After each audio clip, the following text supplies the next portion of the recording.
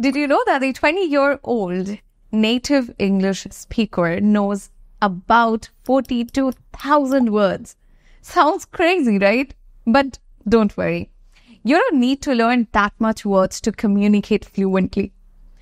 With only 3,000 words, you can handle most daily conversations with ease. Exactly. And if that sounds impossible to you, don't worry. With the right strategies, learning new words can be fun, easy, and effective. One of the most important rules for language learners is the 95 by 5 rule. What does it mean?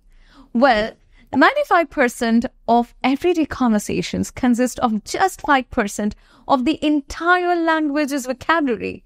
Think about it. Native speakers just use 2000 to 3000 words in their everyday conversations. These are the words you need to focus on when you start learning.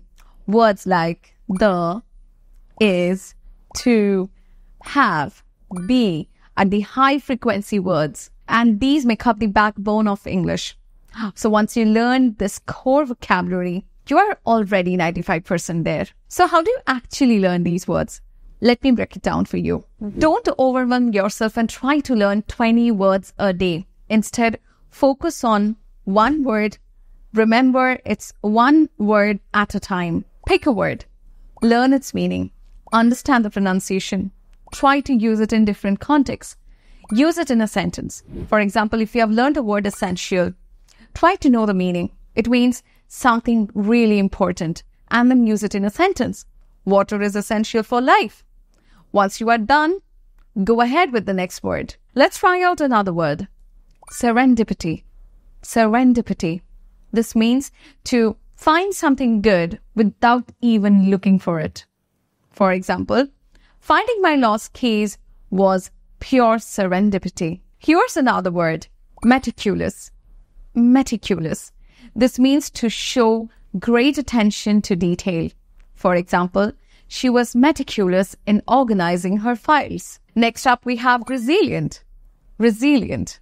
This means being able to recover quickly from difficulties.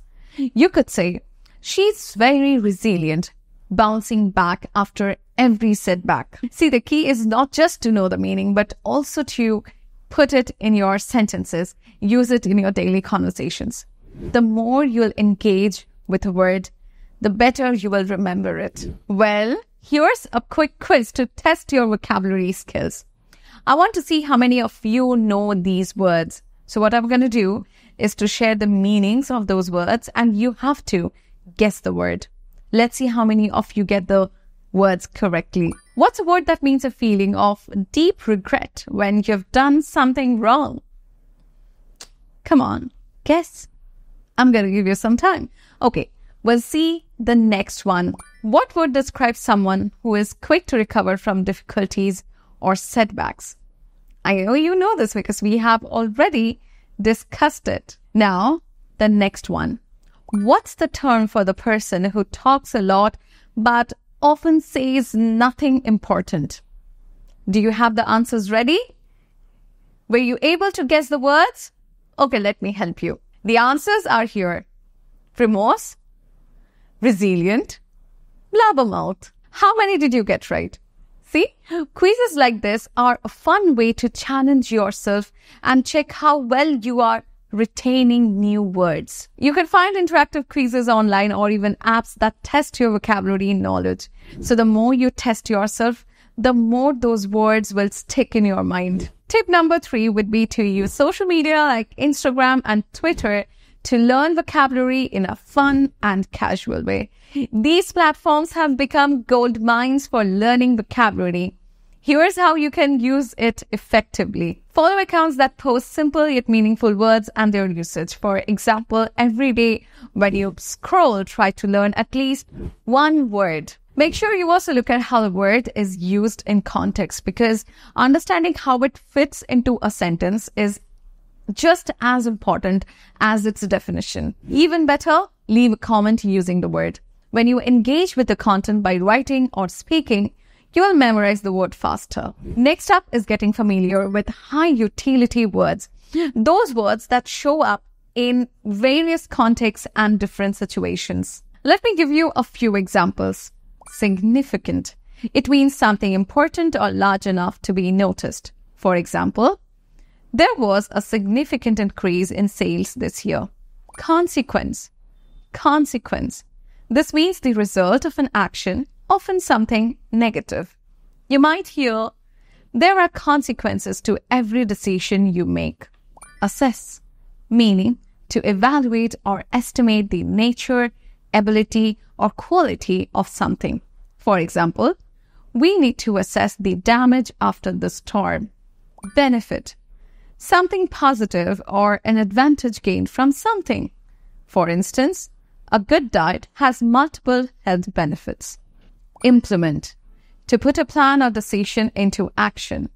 You could say, the company plans to implement new policies next month. I've made some of those videos to help you learn high utility words and phrases and how to use them correctly in sentences so you can sound confident when you speak English. Do definitely check these out because learning these words will help you understand a wide variety of texts and conversations. Finally, let's talk about building a vocabulary practice plan. A structured approach will help you stay consistent and avoid the frustration of forgetting what you have learned. Here's an example of a weekly plan. We'll start from day one. Learn five new words, write their definitions, and use them in sentences. Day two, review the words and try using them in conversations. Day three, write a short story or a journal using those words. Day four, test yourself by writing the words from memory and checking their definitions. Day five, have a conversation with a friend and try to use two or three of those words naturally. Day six, create flashcards or try to keep them as passwords of your systems. Day seven, reflect on what you have done and move forward with another set of words. Revisiting those words frequently and using them in multiple contexts helps transfer them from your short term memory to your long term memory. You can start with my videos where I have shared some high utility words which can help you to sound like a native. And do let me know in the comments which words you have learned in the first week. If you found these tips helpful, don't forget to give it a like and subscribe this channel for more such amazing English learning tips. Thanks for watching everyone and I'll see you again very soon in my next video.